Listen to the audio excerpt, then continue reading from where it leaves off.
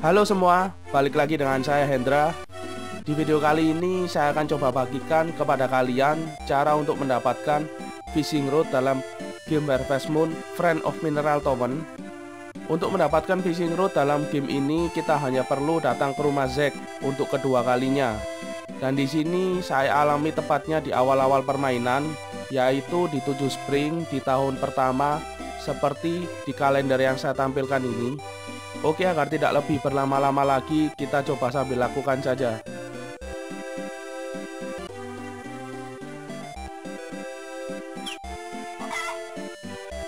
Oke, di sini saya sediakan satu slot pada slot peralatan saya untuk tempat fishing rod nantinya. Dan jika kita tidak menyediakan satu slot kosong, maka kita tidak akan bisa mendapatkan fishing rod tersebut nantinya. Oke, kita lanjut.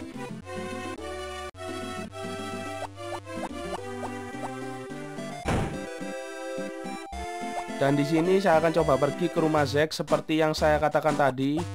Dan rumah Zack akan buka di jam 11 siang. Jadi sekarang ini kita sudah bisa langsung pergi ke sana.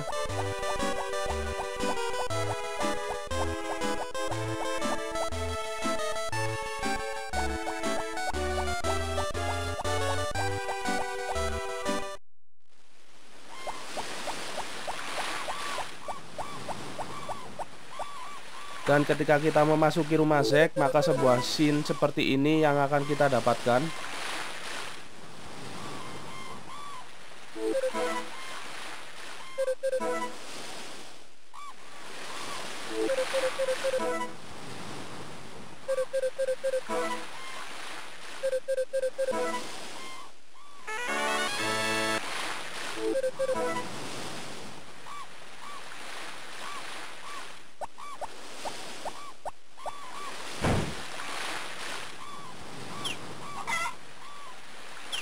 Oke, di sini saya sudah mendapatkan fishing rod tersebut.